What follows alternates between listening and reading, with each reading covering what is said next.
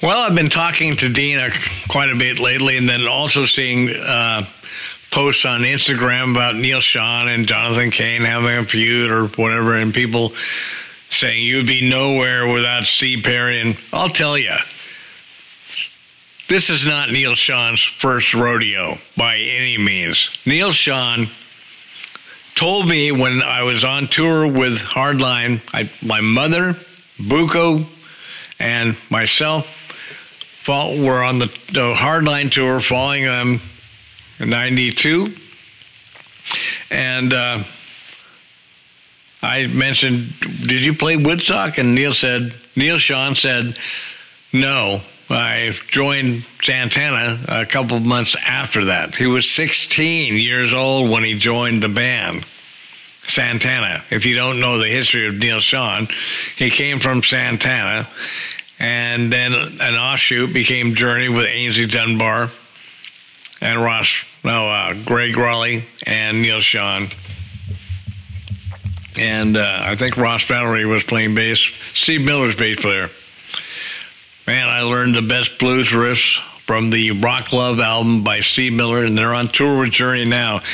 Neal is a great guitar player. He's not a braggart. He's not a loudmouth. He just plays, and he plays. That's why Steve Perry was such a good singer. It's all because of Neal Schon's inspiring melodic riffs. He sings with a guitar. He's like a seeing eye dog for singers who can follow him and be inspired by his melodies on guitar. And uh, He's the first guy I ever saw that had a Floyd Rose on a Les Paul. But hanging out with him for the week that we were on tour with him, he's such a great guy. I'm so glad Deen is in the band with him. My when I met Deen Castronovo, the drummer, I said this guy is destined to be one of the greatest ever, and, and I will do everything in my power, even if it meant just compromising my career. I don't care. I'm all I've always said let the better person be the guy. And if I can help that, I'm helping the world of music.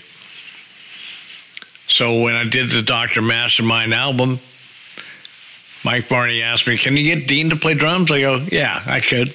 I go, Can you get Deen some studio work? And I'm thinking, he played with a bunch of guys on uh, Shrapnel Records like Marty Friedman.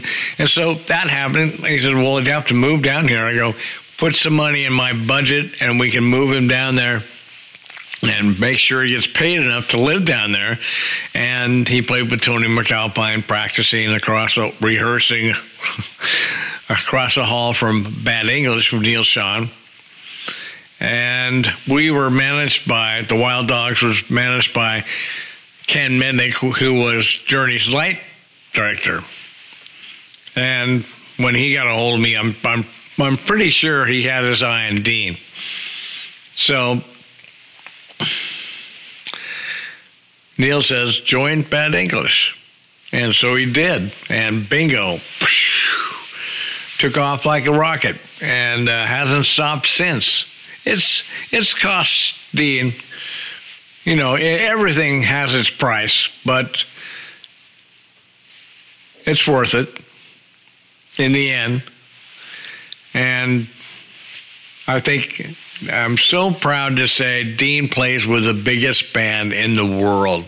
There is no other group that has so many hits for so many years in so many places. And Neal Schon's guitar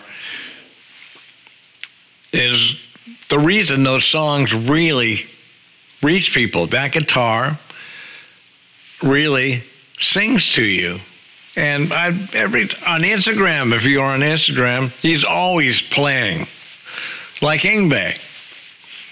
But and he shreds, but he doesn't, doesn't make a big deal out of it. It's just what he does. When uh, uh, Hardline played with Mr. Big on tour, and they played the Marin Center. And my mom and I booked over there by the tour bus, and Neal Schon's parents were there.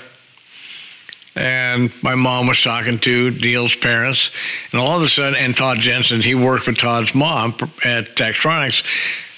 This Ferrari goes and drives right up on the lawn next to him. He gets out. It's Sammy Hagar.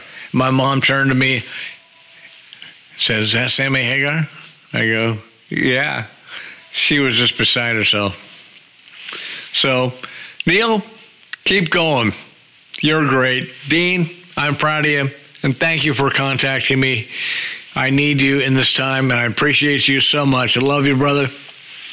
And may you rock the place everywhere you go. And these places are big.